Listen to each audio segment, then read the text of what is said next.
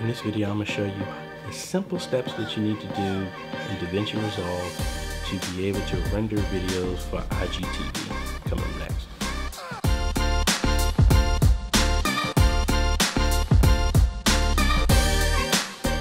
So IGTV is a thing to where they're encouraging video creators to, instead of doing stuff like this, is to do stuff like this.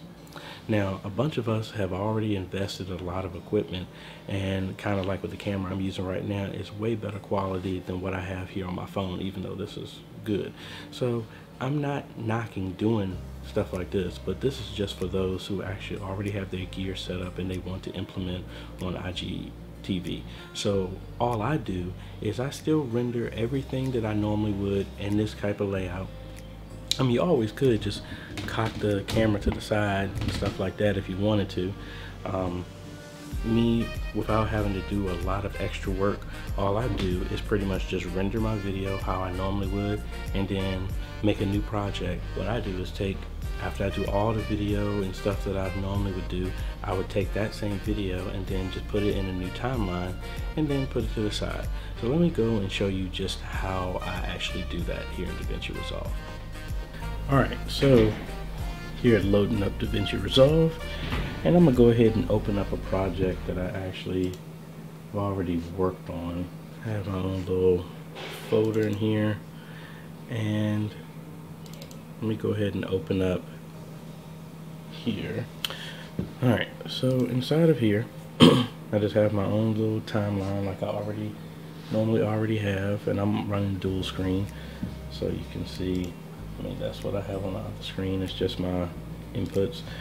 But if I go here to my project, see I'm running everything at rendering everything else out. Well, excuse me, let me take that back. This is the timeline and this is just the project settings. So it's at 1080p, 1920 by 1080. Pretty simple. So I render this out, but again, while I'm rendering here, I'm making sure that the majority of what I'm doing is in the center here. And all I do is, let me go back in here. I rendered that whole thing out. This is what I will upload to YouTube and traditional video um, layouts. I come in here, I just made a new project.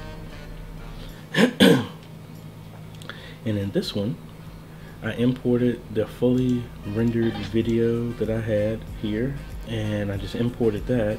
But then in my project I just switched the numbers. I just changed the custom resolution to I mean to custom and then I just flipped the numbers 1080 by 1920 to have it more this way.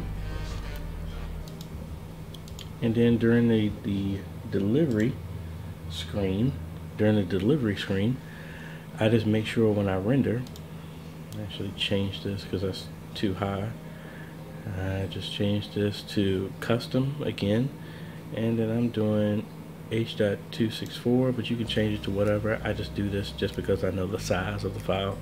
And then in resolution, custom again, I do switch the numbers, 1080 by 1920.